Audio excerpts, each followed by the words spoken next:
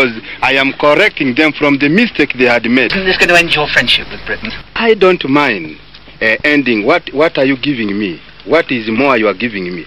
British actually deceived me last year, giving me 10 million pound. They never give up to now. When I had a really very critical problem of finance, up to now. Now I don't want that man again. Do you think you're a tough man? Yes, I am. I am very tough, yes.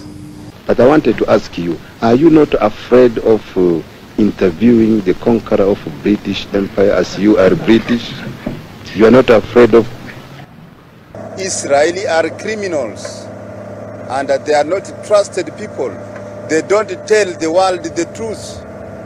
They were taken to Palestine as refugees and then they changed Palestine to become a state of Israel by force of arms given to them by Americans and the British.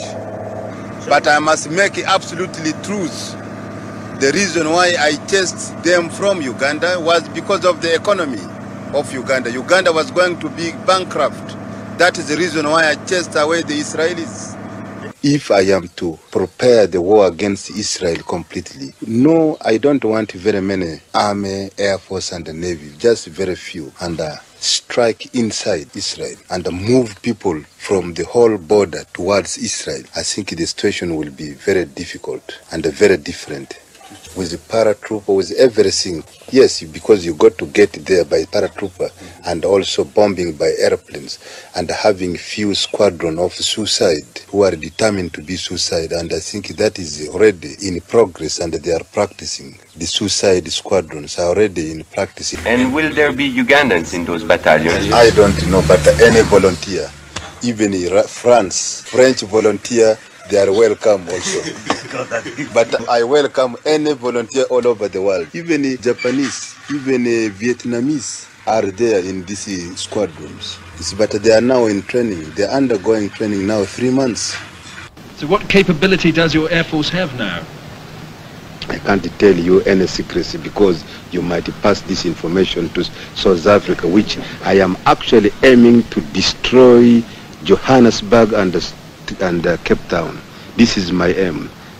This, uh, this, I'm very serious about this.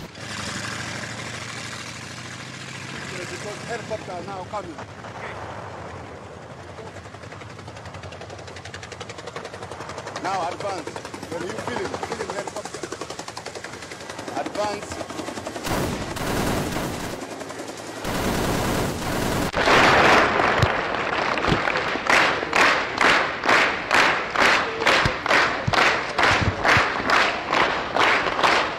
If Rhodesia and South Africa cannot accept immediate independent to the majority rule in these two countries, including Namibia, then we must make really face them militarily because we are capable of fighting against them, of liberating that country.